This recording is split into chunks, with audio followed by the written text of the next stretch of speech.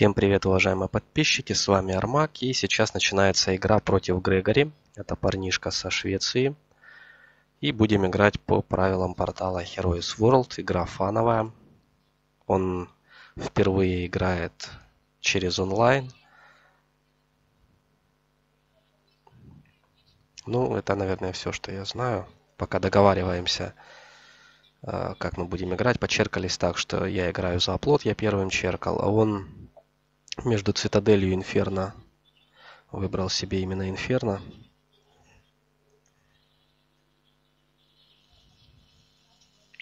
Так, при рестартах меняемся цветами, говорит, чтобы было честно. Ну, пускай, я не против. А, кстати, время обелиски. Как хочешь. И время поставить. Не забудь. Соперник решил по накапливающемуся таймеру играть, то есть через шахматный таймер.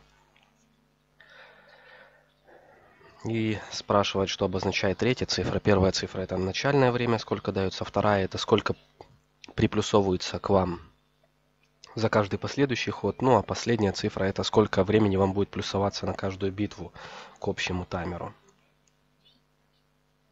Соперник взял рестарт на 1-1-1. Кстати, играем мы на шаблоне 2SM4D, э, то есть стандартный шаблон для новичков раньше, по крайней мере он был таковым. Так, ну что, после рестарта мы поменялись местами, теперь я красный. Меня немножко не устраивает, что проход здесь либо через орков, либо через эльфов. Но пока не будем спешить брать рестарт. Так, ну давайте займемся разведкой. Так, здесь внизу есть блок. Ух ты, нычка единорогов есть. Уже хорошо. А, так, не пробился через орду грейженных зомби на родной для них земле.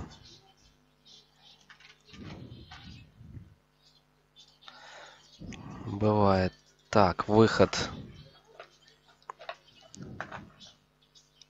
Ну, выход серьезный. Это выход к сопернику, значит, с этой стороны.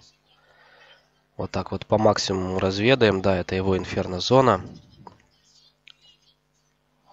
Так, а мне, значит, желательно бы в другую сторону было бежать, но... Ух ты! И заходит Исра.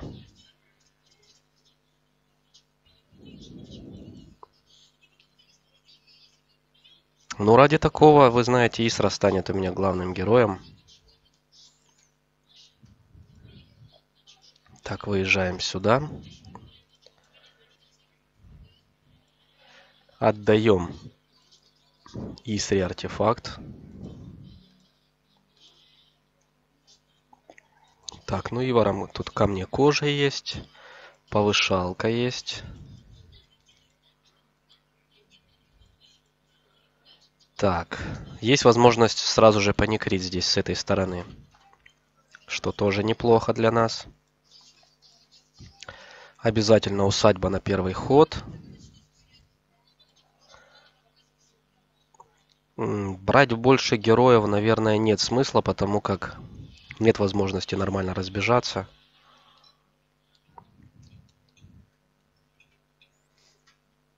Предлагаю пойти сюда паникрить. Тогда Ивар как раз у нас сбегает вверх, в случае чего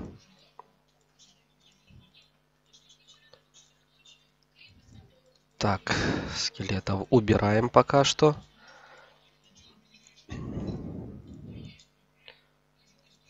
Так.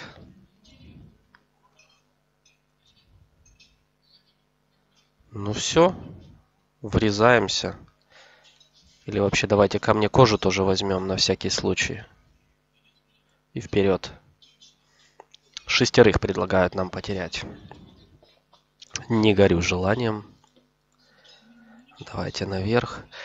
И плюс ко всему мне надо будет еще как-то прикрыться. Так, защищаемся, защищаемся наверх. Тоже наверх. Отлично. Прямая стрела. Можно добивать, но, наверное, пока не буду. Подожду, пока они подойдут поближе. А вот теперь можно добивать. Семь скелетов. Хорошо. Так, ну и последнего героя. Ух ты, Тарасар с баллистой. Очень полезный герой для нас. Вот так, разгоняемся, отдаем баллисту. Ну, в общем-то, для первого хода этого вполне достаточно, думаю. Следующий ход. Рестарты буду брать только ну, в особо сложных каких-то случаях. Хотя вы знаете, тут, наверное, один из таких, лесные эльфы. Ладно, не буду пока спешить. Может быть, на второй день здесь какие-то обходы найдутся.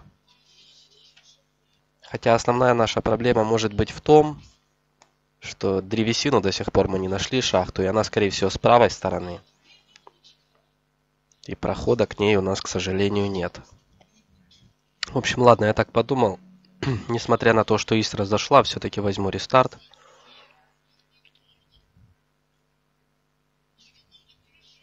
Потому что без дерева за оплот играть довольно сложно. Золотом проблем не будет, это уже видно. Вот золото, вот золото, вот золото. Здесь отбивается Говорит, такой шоколад запорол. Ну, бывает, я не специально.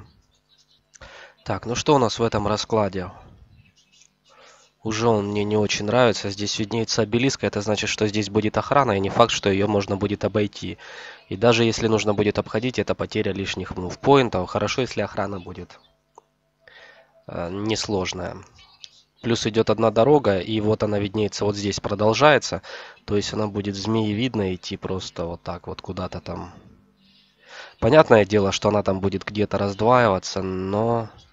Надеюсь, что она будет раздваиваться вот здесь, вот снизу. То есть одна часть пойдет сюда, одна вниз. Если нет, и мне придется по одной дорожке вот так вот выходить и там где-то раздваиваться. Это не даст мне возможности нормально разбежаться. И выбрать одно из направлений, куда мне нужно будет двигаться. Так что пока вот я больше склоняюсь к рестарту, чем к тому, что я буду играть этот расклад. Все-таки разведка и количество разных направлений на первые 2-3 дня играет очень важную роль, потому что именно от этого зависит стратегия игры на том раскладе, который вам, в общем-то, выпал. Ну, как, собственно, игра в карты. Ну что, вот и к нам пришел ход. Кто там у него еще светится? Аллагар. Ну, вряд он будет играть, во-первых, не за родного героя, во-вторых, за мага. Все-таки шаблон Элька. Ладно, с эльфами у нас в этот раз хуже, чем было при прошлом. Ух ты! И все-таки дорожка расходится у нас здесь, как я и говорил. Но тут приходится обходить единорогов. Это уже большой, просто огромнейший минус. Так, здесь похоже на какой-то выход. Да. 2049. Есть склеп. Здесь вообще просто совершенно неудобно будет обходить через низ. Даже не знаю, что делать. Так, ладно, еще немножечко стрелков. Эх, эх, эх. Ну, давай сюда. Ой, как далеко обходить-то надо из-за этих гарпий. Вот, наверное, из-за гарпии я и возьму, собственно, рестарт и не стану это, играть. Очень неудобный респ из-за обелиска. Нет, нет, это однозначно рестарт, не хочу это играть. Соперник говорит, что, говорит, что не везет ему. Но вы сами видели, Какие нам расклады выпадают, не совсем удачные для игры. Мне все разы Калху 3 стека Гогов заходило. Неплохо. Так. А, красным меня ставят. Ну ладно.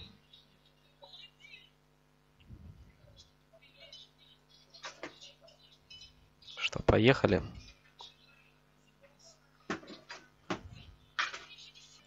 блоки стрелки или просто сильная охрана спрашивает. Ну, например, 2049 гарпий.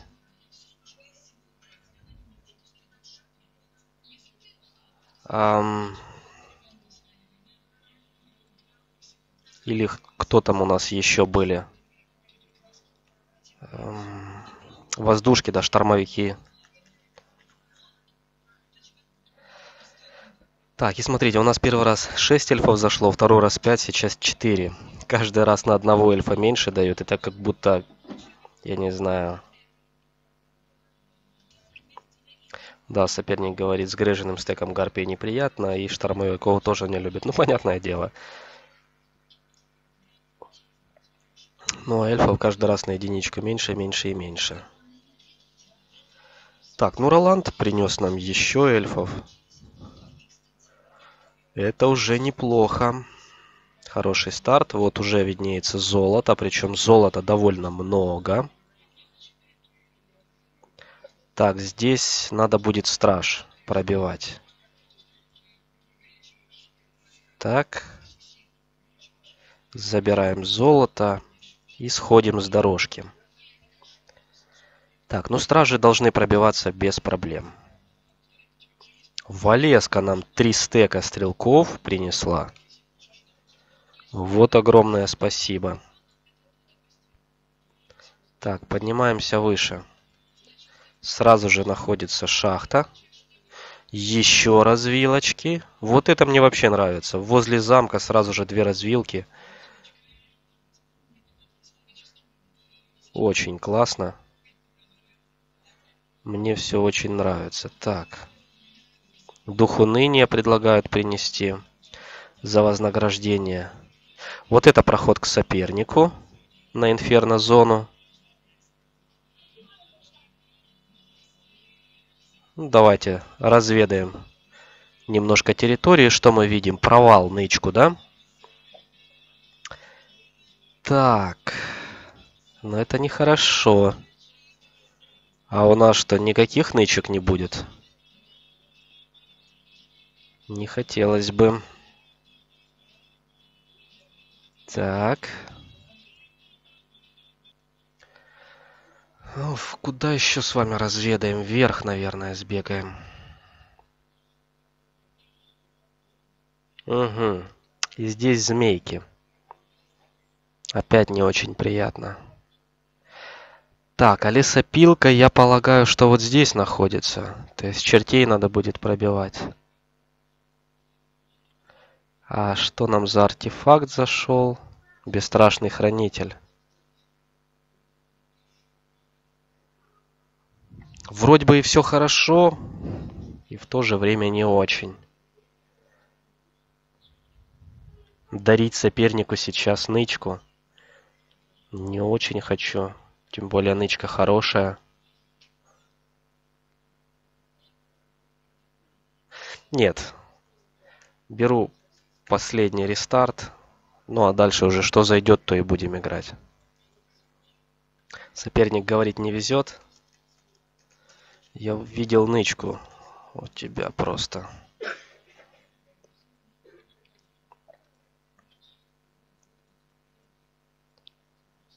Так, плюсик. Какую? Э,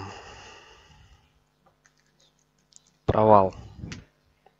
Говорит, это ж не ифрит, и с ними только демонить. Так в том-то и дело. Лучше провала только... Ай, ну все.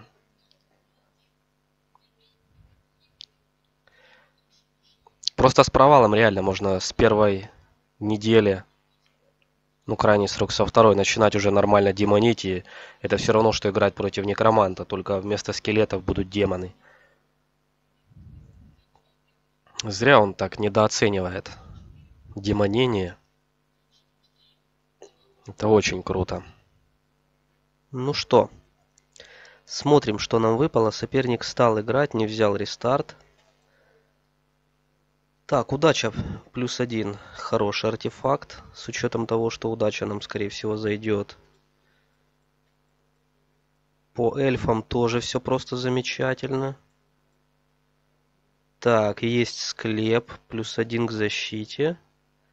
А дальше блоки еще один склеп. Но, в принципе, мастер гремлинов можно пробить. И сверху, я думаю, там тоже проход будет. Я так понимаю, мы друг друга видим, и игра будет быстрой. Нет, между нами сложная охрана. Поэтому проще в обход идти через легкую. Хотя, если ты ее пробьешь, то быстро ко мне попадешь. Грейженые чудики говорит, да. А, ну, мне пока еще не видно этого. Не могу так сказать. Так. Что тут? В принципе, неплохо. Там его обход, говорит Глис, близко. Мне пока не видно.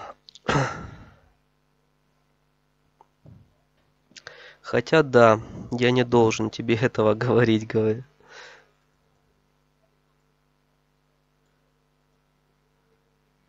Так. Ну что, давайте еще одного запустим вниз. Так, ну тут наездников надо будет пробивать. Заодно тогда уже и зомби, и здесь можно пробить будет. В общем, пока будем двигаться, хотя и вверх надо пробить. Но, наверное, давайте будем делать все последовательно. По крайней мере, стараться. Сначала. У меня респ и две смешки очень маленькие. Какой быстрый у нас соперник. Так, наездники на волках.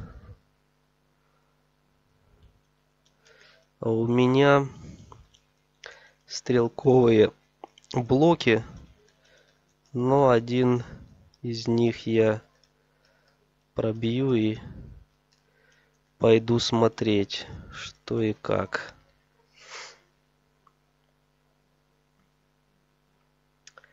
Конечно, хотелось бы разбежаться, а для этого мне надо сразу же идти сюда бить, но потом мне придется возвращаться, я бы не хотел бегать туда-сюда. Я люблю, чтобы все было последовательно. Так, эльфы. Это у нас охрана. Парочку. Хотя, зачем я это делаю? Единичек мы можем наделать из вот этих ребят. Их недостаточно для тех рестарта, говорит.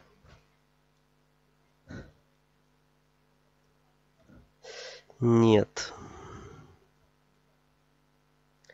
до тех рестарта это не дотягивает, потому что, опять же, я говорю, что мастер гремлинов, если у вас есть кентавры, пробивать несложно, потому что кентавры за два хода добегают и блокируют их. Просто побольше стеков делаете кентавров, пускай даже единичных, и все нормально пробивается.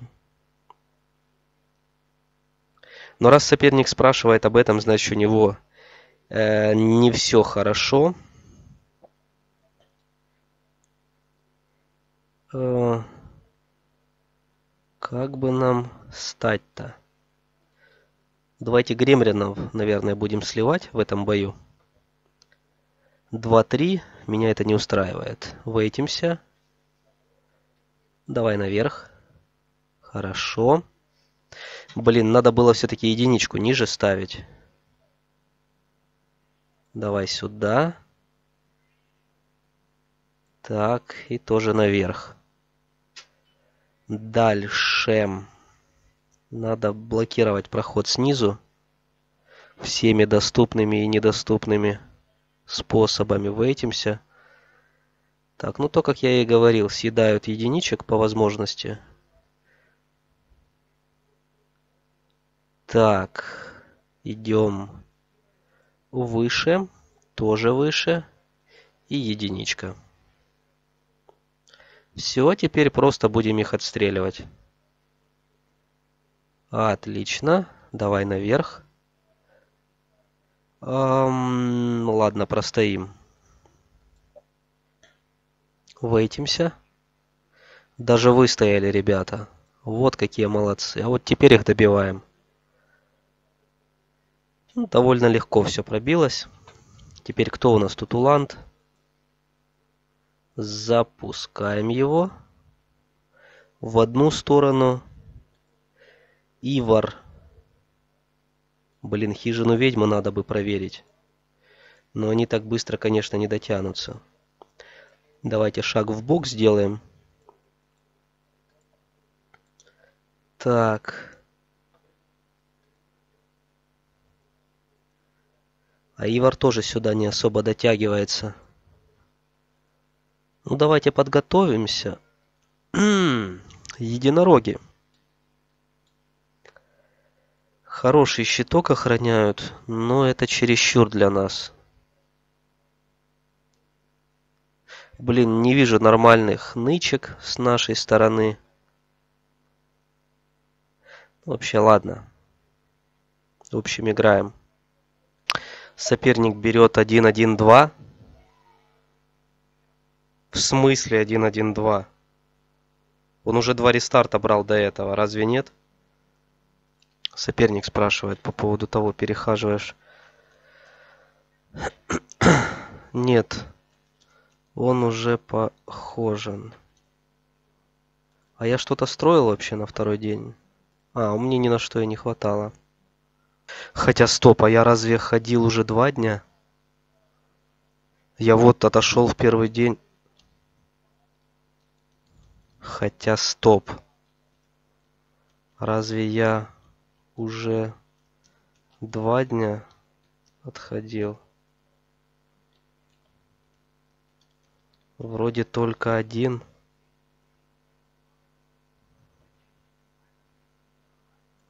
Да, только один, говорит соперник.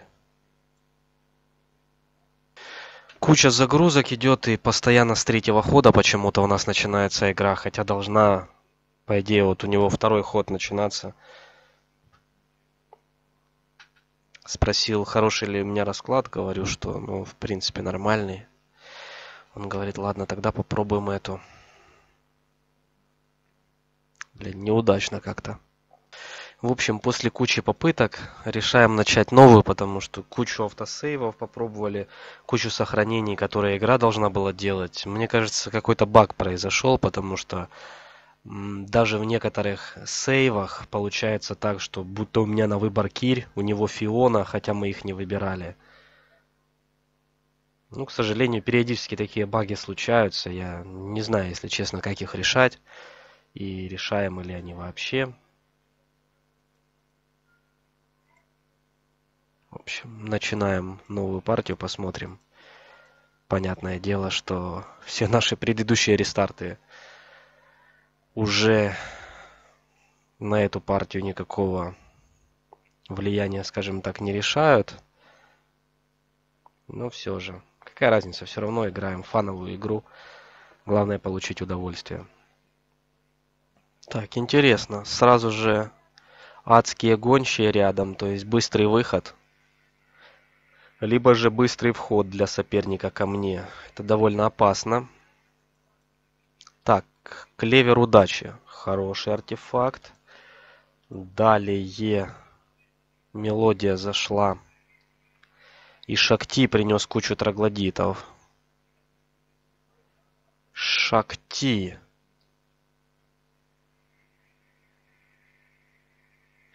И вы знаете, возможно, я буду играть Шакти.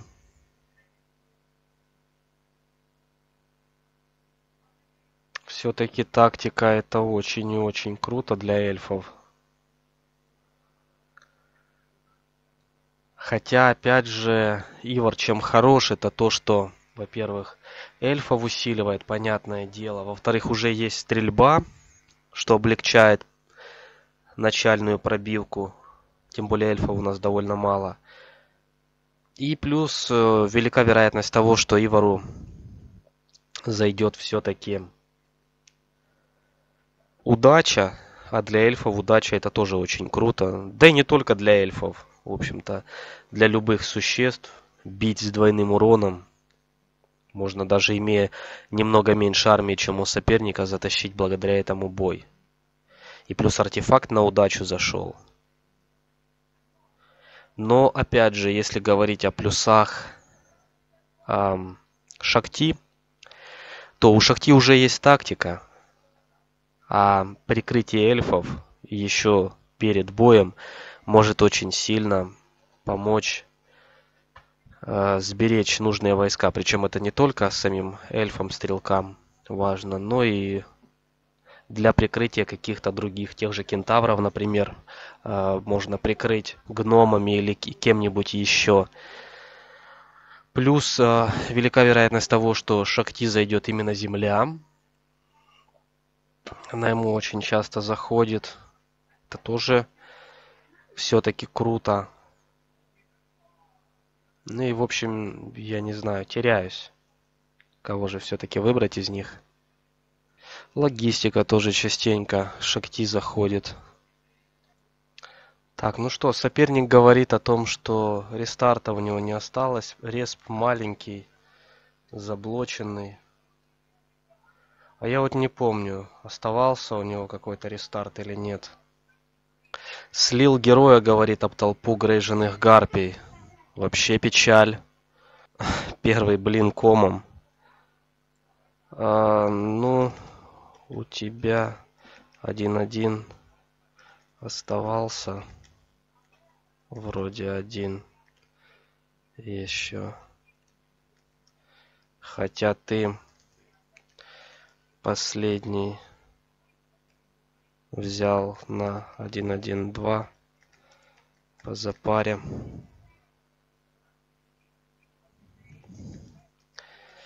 Ну давай еще раз.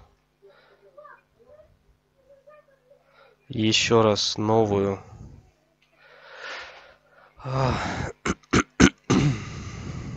Новый расклад будем считать техре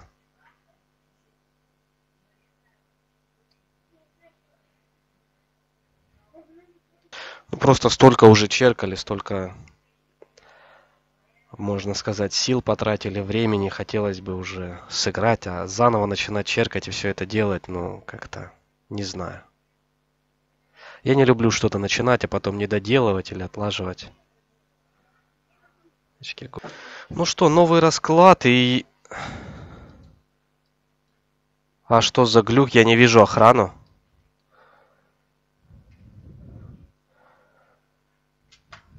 Это прикол какой-то? Как мне узнать, что там за охрана?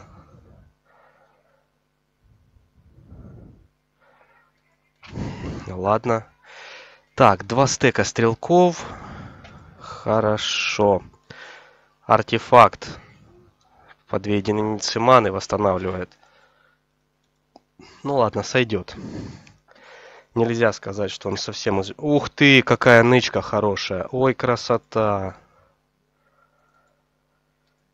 Это, конечно, радует. Так, тут у нас лечение. Все, идем сюда. Следующий герой выкупаем с вами Уланда.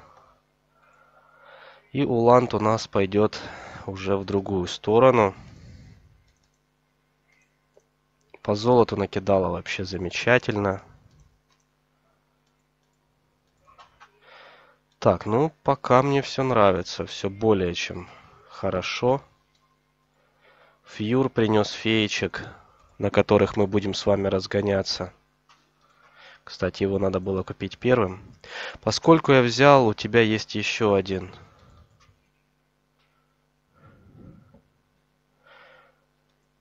Ну, нет, навряд я его буду брать, разве что солью где-то героя.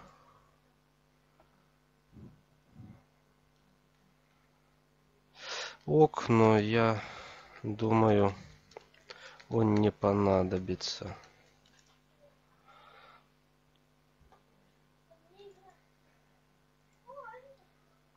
О, Элизар. Так, ну что, есть фейки, давайте разгоняться на фейках. Сразу же шахта берется. Так, нужно ли мне сюда загонять двух героев? Это, конечно, даже не знаю. Так, ставится усадьба. Наверное, больше героев мне пока не надо. Дополнительно у нас есть нычка единорогов. В общем, расклад очень хороший, можно сказать. Плюс э, я вот выкупил всех эльфов и кентавров, которые у нас были. И в таверне еще у нас находится луна. Я вот думаю, покупать ее или нет. А второй уровень у нас одинаково построен. Или может быть есть, а у тебя нет. Э, нет, случайно. Ну, у меня не было ничего построено.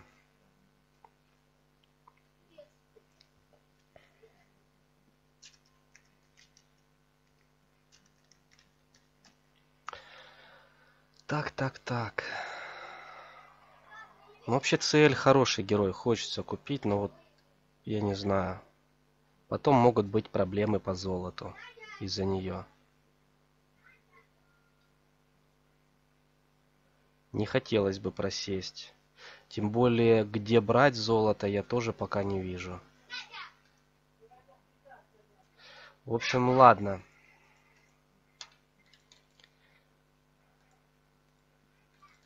Так, единички. Будем брать адских троглодитов и нычку эльфов. Даже не знаю. Вот это вот меня, конечно, напрягает. Это похоже на глюк какой-то, вот честно. Так, нужно ли мне еще кого-то брать? Наверное, нет. Ну, мне так кажется. Или сначала пробежаться мне здесь. Посмотреть потом... Хотя, ладно. Идем сюда.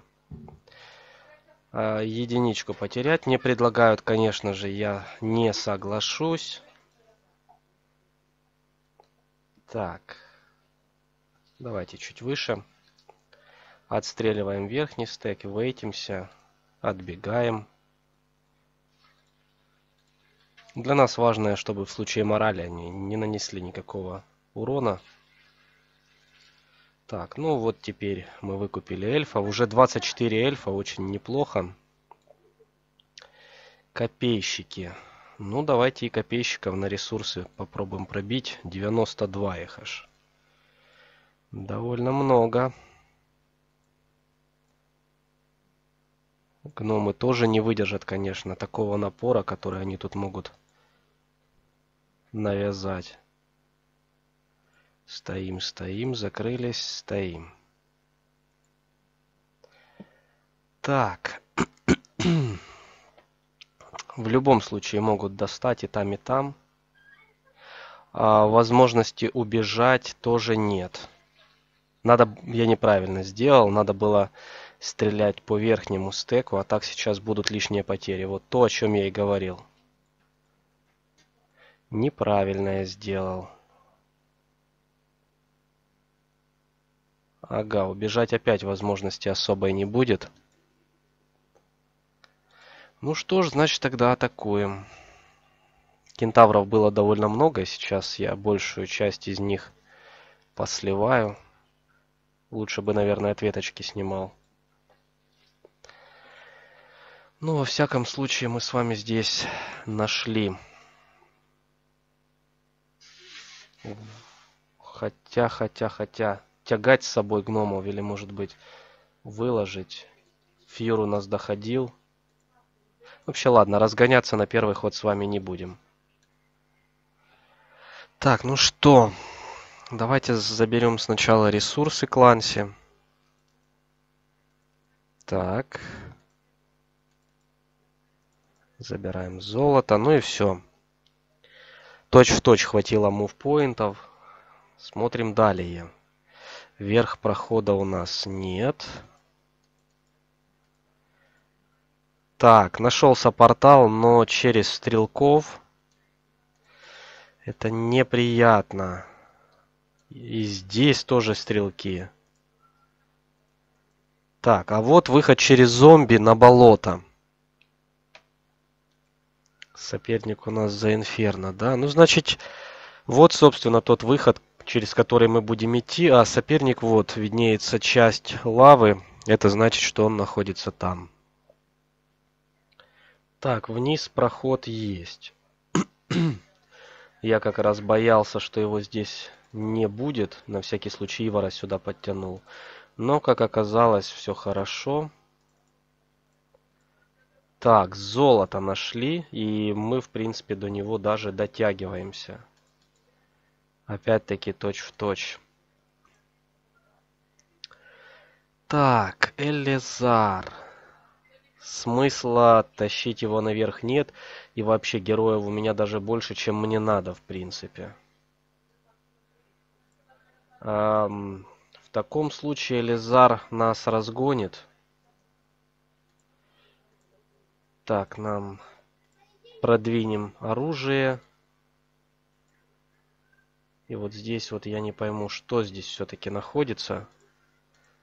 Возможно, Элизар для нас прояснит эту ситуацию.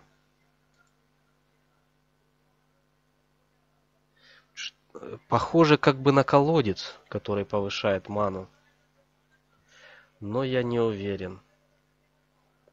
Так, ну и надо подумать, что мы будем делать. Надо, наверное, пробивать хоп-гоблина идти. Так, а что мы будем сейчас строить? Грейдить эльфов, наверное, мы будем на следующий день. Так, цитадель нам нужна, да? Ну, давайте цитадель поставим. Или все-таки мы пойдем сюда пробивать гнолов? В принципе, нам целую неделю надо будет что-то заниматься. Респ у нас длинный и худой. Так что, наверное, все-таки воспользуюсь возможностью пробить их но пробивка будет на следующий ход. Ну все, поехали дальше. Соперник ходит довольно долго, примерно минут по 11-12, вот где-то так.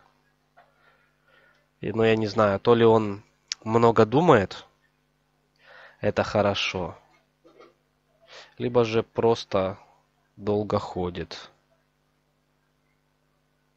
Но опять же, в основном как раз размышления должны отбирать время.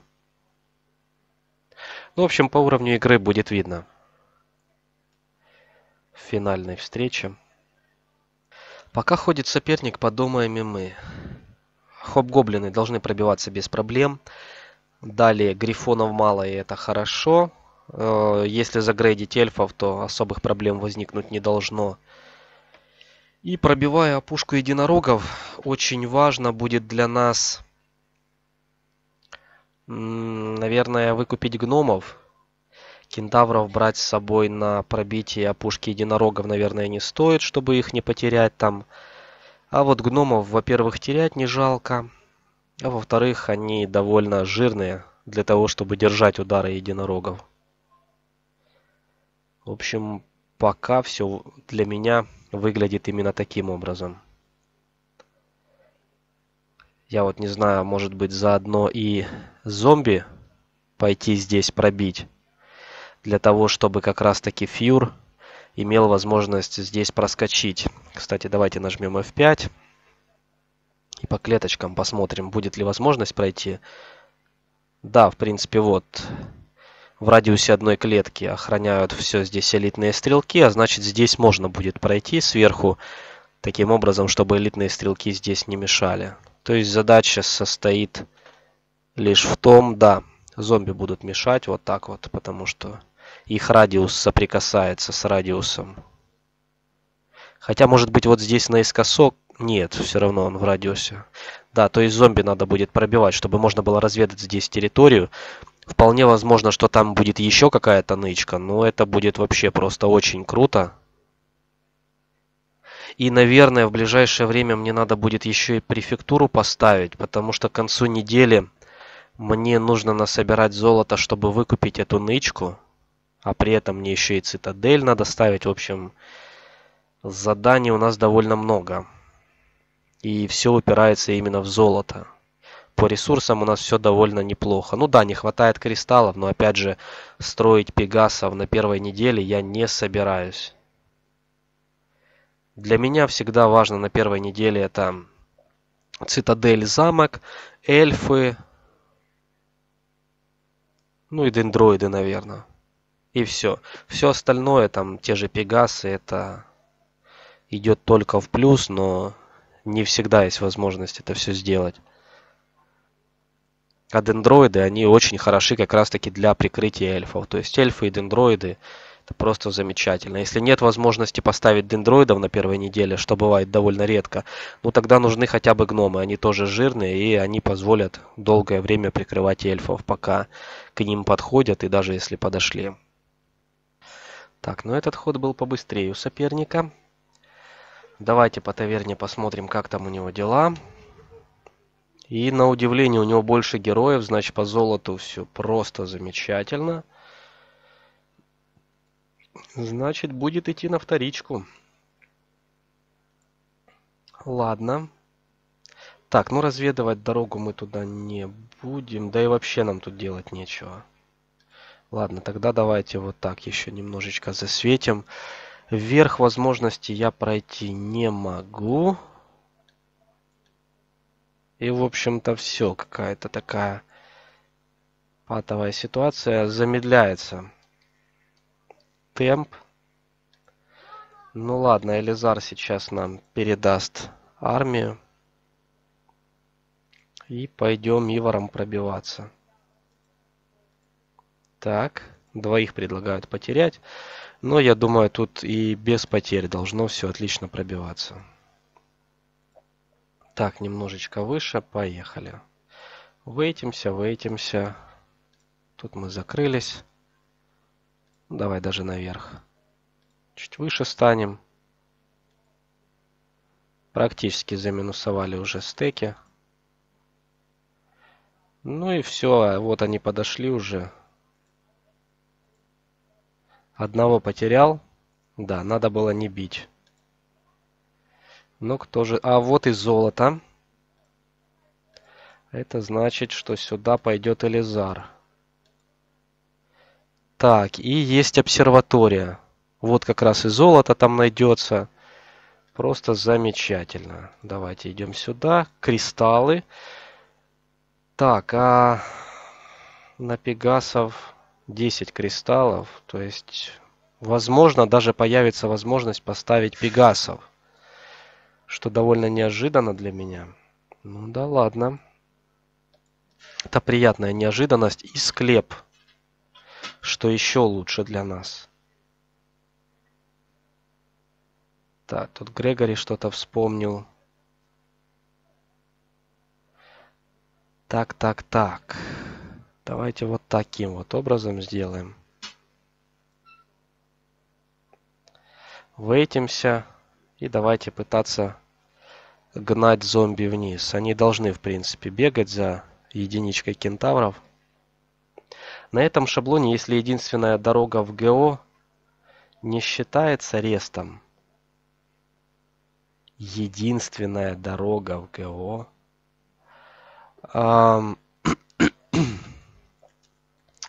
там должны быть по краям респа а, выходы по бездорожью,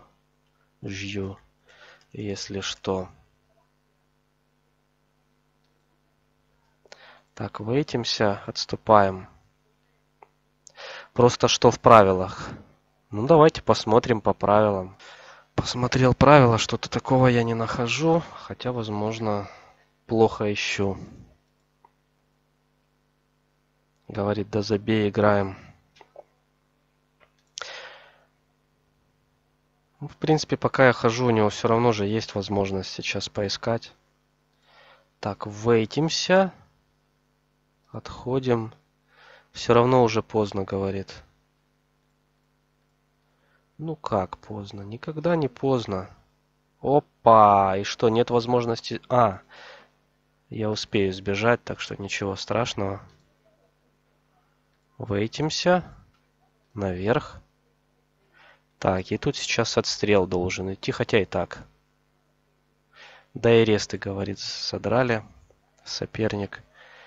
Ну да, арестов у нас было сегодня много. Довольно далеко мы забежали. К сожалению. Давайте сначала пробьемся вот сюда. А это, наверное, и будет наш последний ход. Раз, два, три.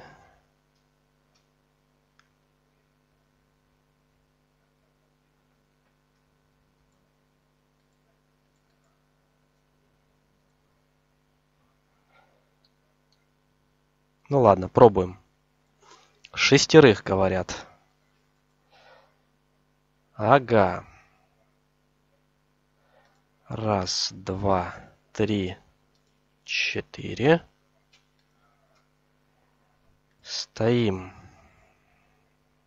Идем наверх и закрываемся.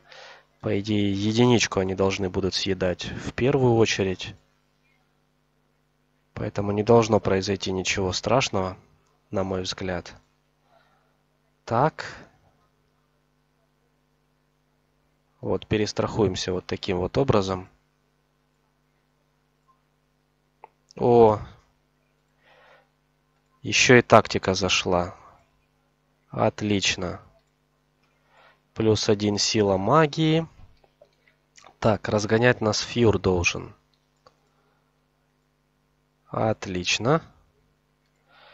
На феечке он это делает. Еще и ртуть с вами добыли.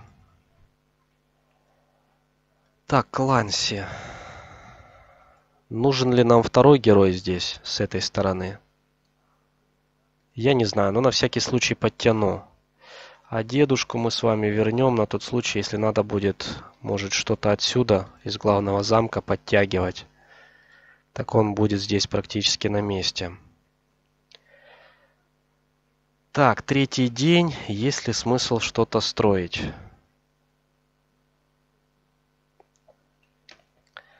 Так, по золоту. Если две с половиной тысячи потрачу, я останусь без золота. А, в принципе, сейчас будет склеп.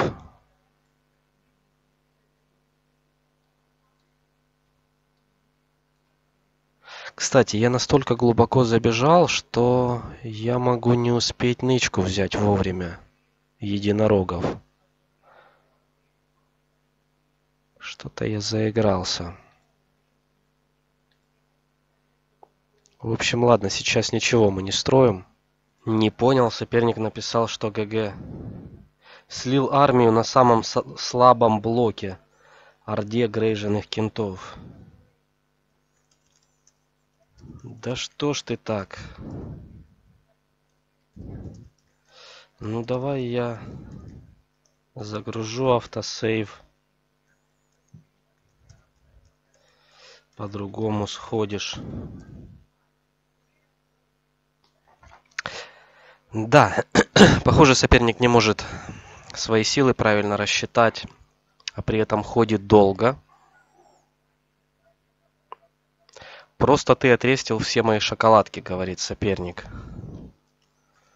Ну, обычно так и бывает, что соперник отрестит все хорошее.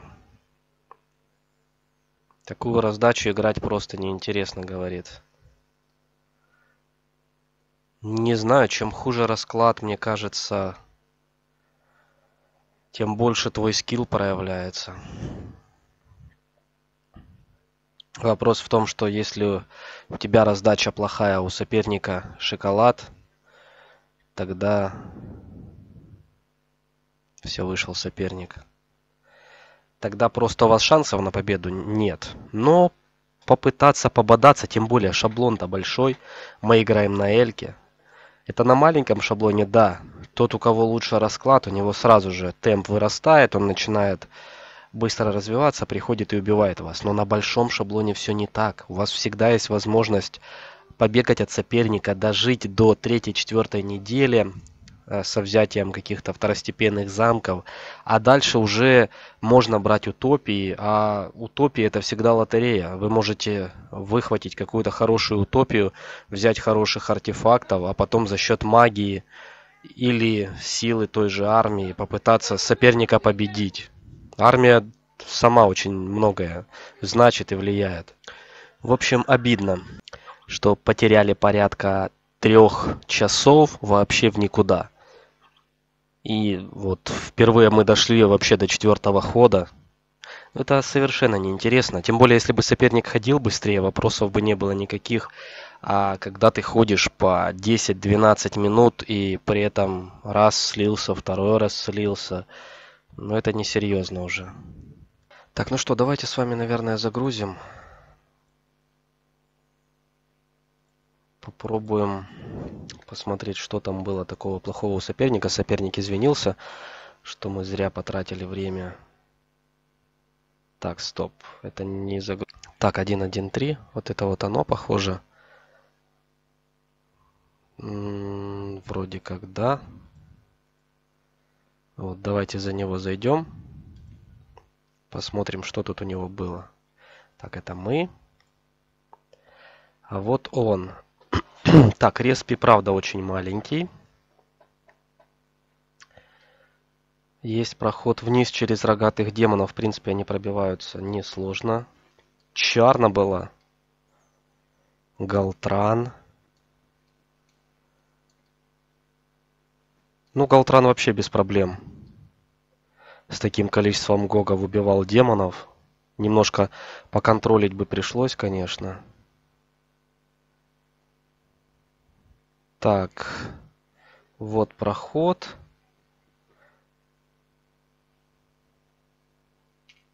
Стоп, это какая-то не та игра. Это не мой респ.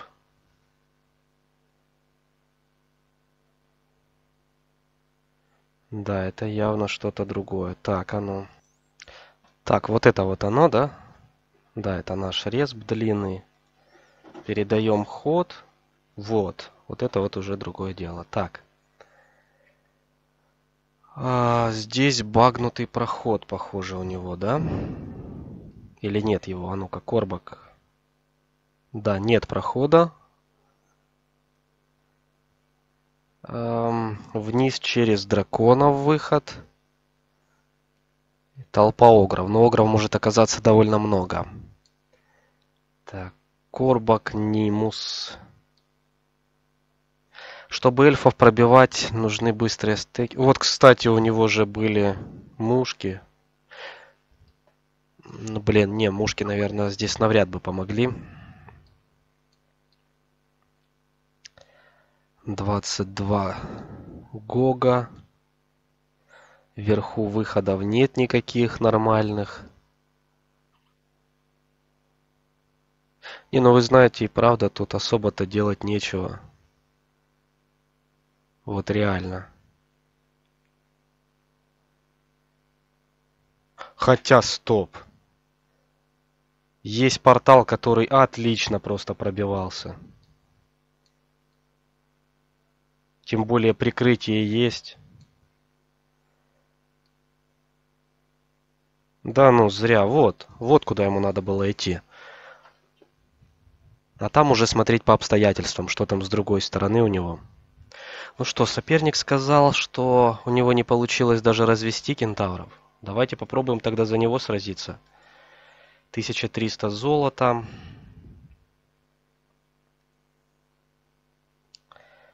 И давайте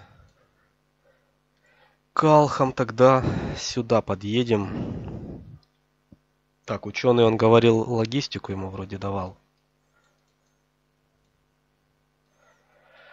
В общем, так, Мирланда. Становись сюда. И давай-ка вот так. А Гогов-то почему снизу? Они же будут последними ходить среди всех, у кого пятая скорость. Нельзя так. Так. Книгу заклинаний даже не купил. А почему? Гильдия магов же построена. Или нет? Да. Хотя, может, он и брал ее перед тем, как нападать. Ну ладно, сейчас посмотрим. Так, Корониус. Корониус, вот он. Становись рядом. Давай-ка змейку. Отлично. Дальше Нимус. То же самое. Отдавай змейку. Отлично. Но это я просто набираю тот максимум, который он мог набрать.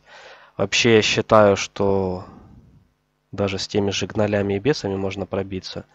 Если, конечно, их там не под 90. Если под 90, то, конечно, это проблема. Тут как ни крути. Так, тут все забрали. Дальше заезжаем. Так, еще взяли адских гончих. А, змейки. Берем книгу заклинаний. Замедление есть. Волшебная стрела есть. Что еще надо? Седьмая скорость есть. Эм... Ну вот, можно еще добрать. Так, кентавров для антиморали лучше не брать. Две змейки. Ну вот, и как-то вот так, наверное, и бежать вперед. Ну что, атакуем? Надеюсь, что они не проморалятся. О, как вас много тут стало-то, а? Так, ну правда, очень много их. Так, у нас всего на две стрелочки. Делаем вот так. Вейтимся, вейтимся. Сразу же пошли вперед. Так. Давай наверх. Кстати, разлом очень хороший. Я вот не знаю, какой разлом ему попадался, такой ли. Наверх. Наверх. Змеечка. Таких тут просто куча. Давай вот так. Берем стрелочку и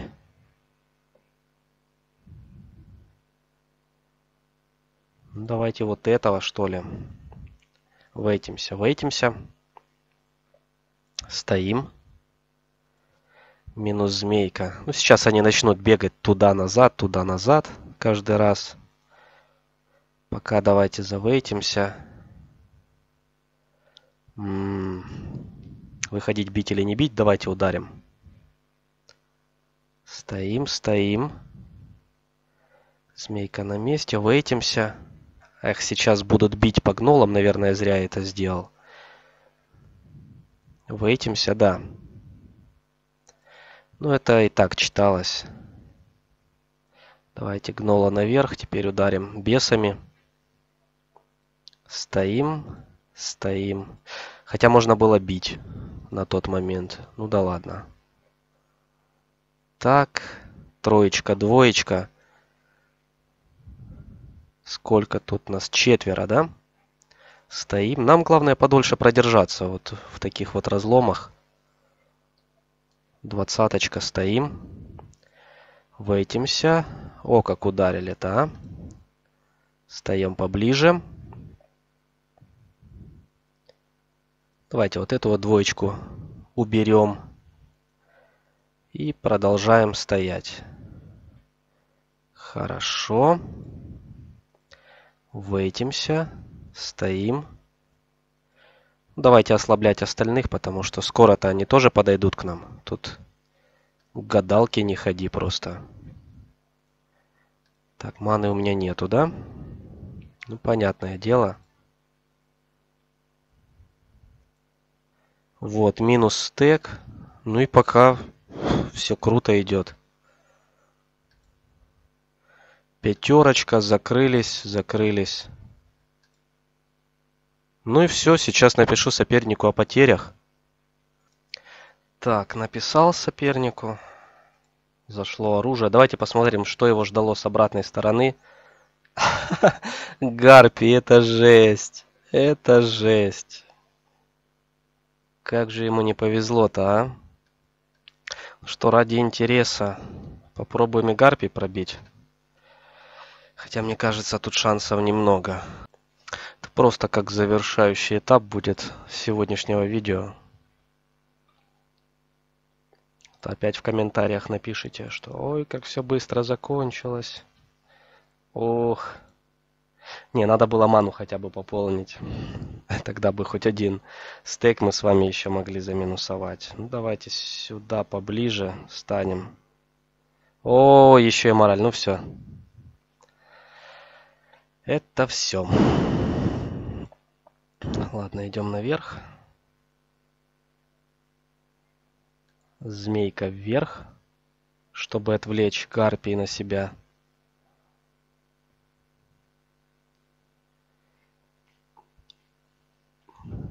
Ну и все, Гогом тут придется самим разбираться.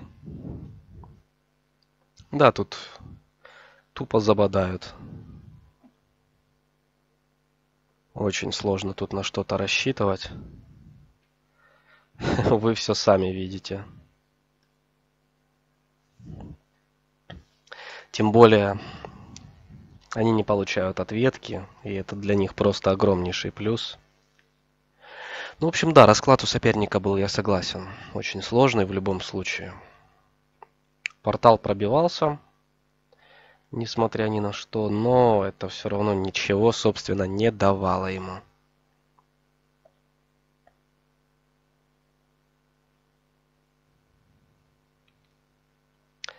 Так что, в общем, да, наверное, он правильно сдался. Да не наверное, правильно. Что я могу сказать? Ну, бывает. Нужно с умом распоряжаться рестартами, потому что рестартить нужно только те расклады, которые реально плохие. Если вы хотя бы можете нормально разбежаться, есть нормальные выходы с респа, то вполне можно надеяться на то, что один из соседних респов будет очень хороший или, по крайней мере, даст вам какие-то преимущества. Потому что, поверьте, всегда может быть еще хуже. Либо нужно рестартить те расклады, когда вы видите, что сопернику зашел какой-то классный герой, а у вас наоборот нет. Но это больше относится, когда вы играете на full рандоме, то есть на случайными городами, случайными героями, и там уже как повезет.